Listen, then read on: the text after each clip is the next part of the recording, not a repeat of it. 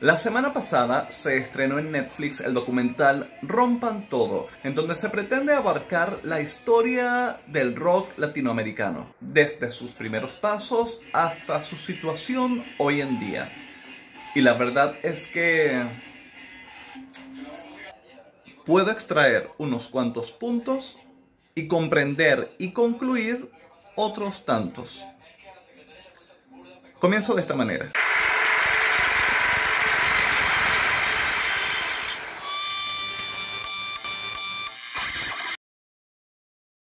Al culminar mis estudios en audiovisuales, mi compañera de equipo y yo decidimos realizar como trabajo para culminar la carrera un documental sobre la historia del rock venezolano, sobre el cual siempre tuve claro la historia que quería contar. Igual, habían puntos por afinar. Así, gracias al apoyo y a las exigencias de uno de nuestros tutores, fuimos dando en el clavo y aclarando aún más el cómo podíamos trabajarlo. Pero eso es historia para otra oportunidad.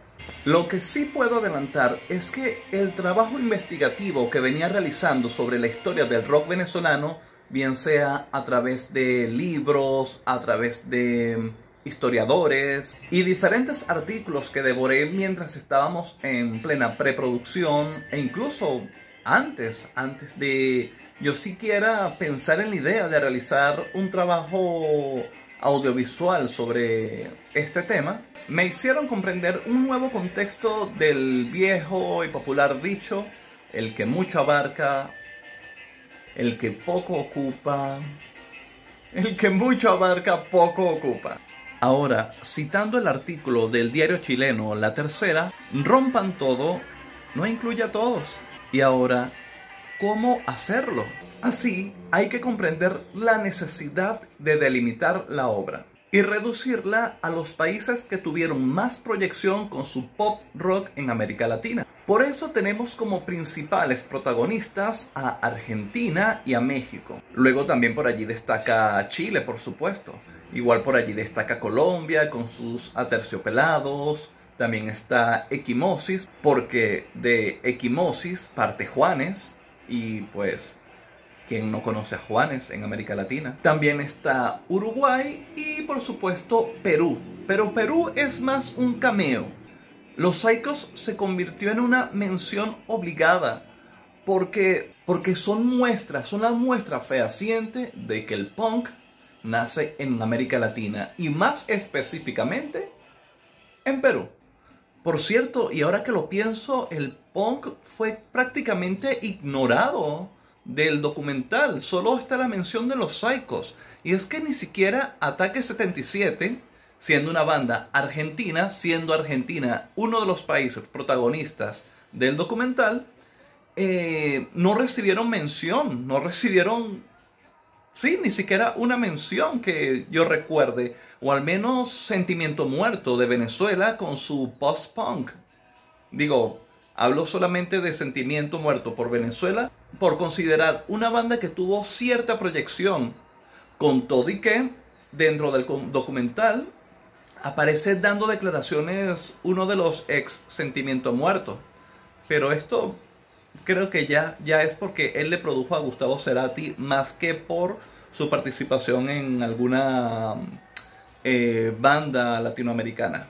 Por lo tanto, en esos viajes entre polo y polo dentro de América Latina, o al menos entre los países que tuvieron más proyección con su pop rock en este lado del continente, vamos conociendo cómo se va desarrollando este nuevo género musical que ha llegado a nuestras latitudes y su impacto para con la sociedad e incluso dentro de las esferas políticas o dentro de los intereses políticos.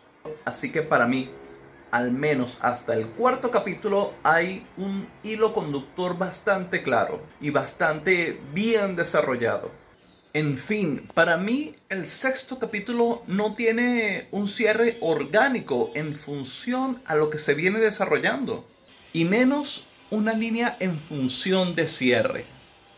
Al menos algo que se vaya desarrollando durante todo el capítulo un poco en conjunción con el resto del material que vinimos observando en los capítulos anteriores. Me dan la impresión de que si bien sus realizadores tenían bastante claro eh, el camino a recorrer durante el documental, parte de la historia que querían mostrar, lo cierto es que no tenían muy claro el cierre que se quería dar, cómo íbamos a llegar a, o cómo pretendían llegar a ese final, o cuál era el final, que es lo que con todo esto que se nos viene contando, hacia dónde nos quieren llevar, qué nos quieren decir para concluir. Siento que eso no estaba claro. ¿Cuál será el punto final del documental? Bueno, ahí vamos viendo sobre la marcha.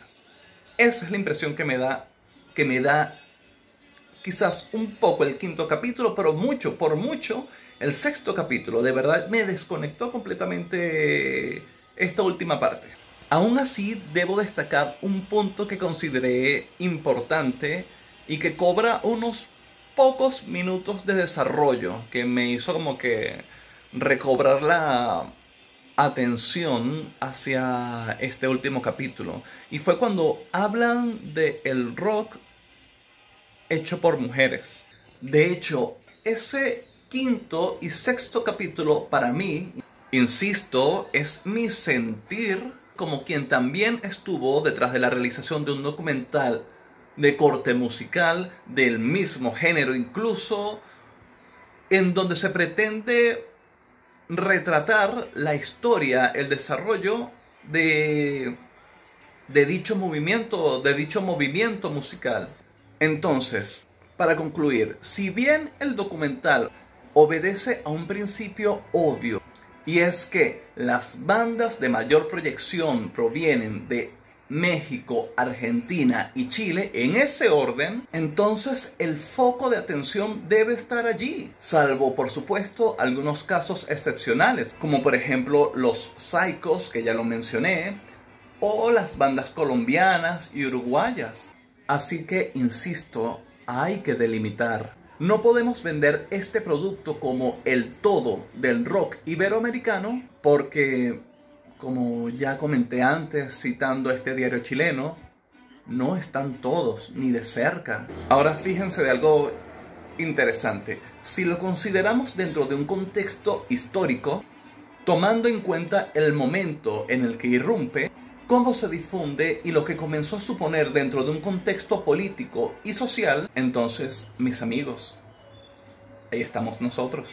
Pero no estamos entonces, sí o sí es como he comentado, he como he leído en varias críticas para bien o para mal sobre el documental.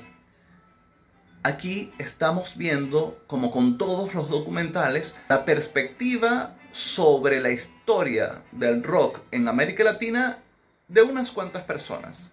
Una historia con dos protagonistas, un secundario de peso, varios secundarios que quizás no tengan tanta relevancia, pero están allí haciendo algo, y un curioso cameo. En el documental, además de a Héctor Castillo, el ex sentimiento muerto, también encontramos a DJ Afro de los Amigos Invisibles, una banda que ha tenido bastante proyección a nivel latinoamericano. Así que si hablamos de proyección, además de los Amigos Invisibles, también tenemos a Desorden Público. ¿Cuántas veces no han girado a través del globo los desordenados? También, guste o no, están los caramelos de cianuro. Y más reciente está la vida bohem, quienes tienen bien embolsillado un Grammy latino. Si nos limitamos a historia, entonces todo lo que se comenta allí sucede de igual manera en Venezuela. ¿Y saben qué? Muchos de esos acontecimientos que suceden en México, en Chile y en Argentina, bueno, no estoy seguro en Chile, pero al menos en México y en Argentina, suceden incluso un par de años antes en Venezuela. Y si hablamos de huella, pudiera hablar de Jorge Spiteri, a quien lamentablemente perdimos este año por complicaciones con el cáncer. Jorge Spiteri y lo que significó para la movida rock and rollera londinense a principios de los 70. Tal fue la huella de Jorge Spiteri que hace unos pocos años, ya en esta década, fue galardonado con un Latin UK Award por su justamente por su trayectoria musical. Entonces, insisto, amé los primeros cuatro capítulos, aunque durante su desarrollo, como alguien que tuvo la oportunidad de estudiar con cierta profundidad la historia del rock venezolano y por supuesto con pequeños destellos del rock a nivel iberoamericano, por momentos me hizo sentir de que faltaban detalles, faltaban cosas, pero bueno, como vengo diciendo, no se puede colocar todo, siempre algo se escapa.